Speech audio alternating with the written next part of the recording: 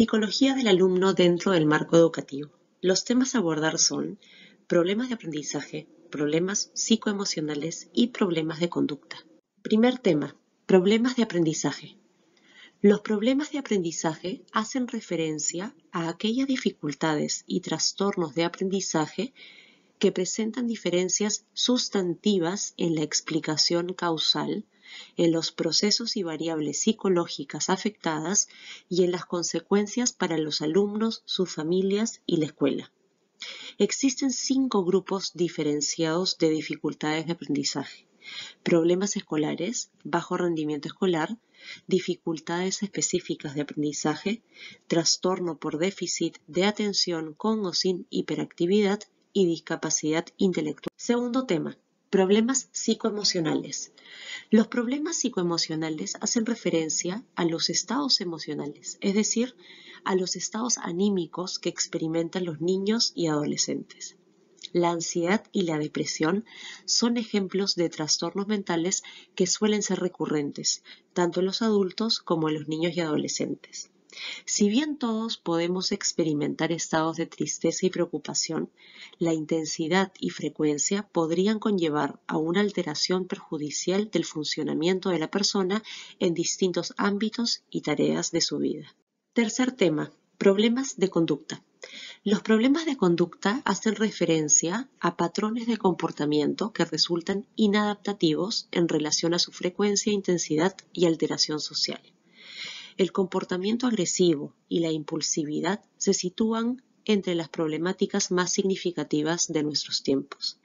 Tanto en el ámbito clínico como educativo, constituyen un motivo de consulta frecuente, que exige a los profesionales un estudio profundo de las causas, procesos y consecuencias de dichas conductas, a fin de establecer si se trata de conductas esperables o patológicas.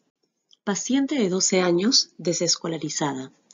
Ha realizado robos, episodios de autoagresión, maneja unas relaciones interpersonales deficientes, conflicto con pares es irritable, pierde con facilidad el control emocional y ante el fracaso tiende al llanto.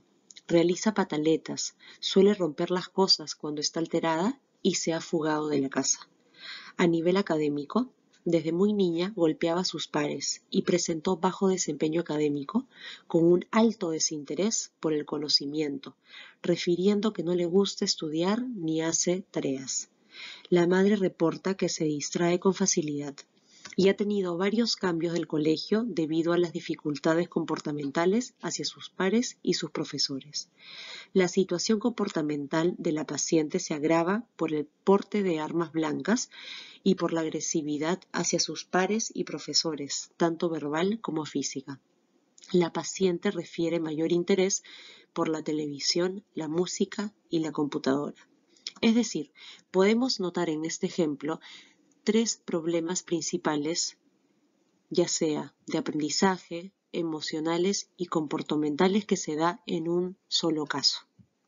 ¿Sabías que identificar e intervenir en alguna dificultad psicoemocional del alumno aumenta notablemente las probabilidades de su bienestar emocional y por ende de un mejor aprendizaje? Si bien los problemas pueden diferenciarse en categorías específicas como de aprendizaje, psicoemocionales y de conducta, estos no son independientes entre sí, sino interdependientes del uno al otro.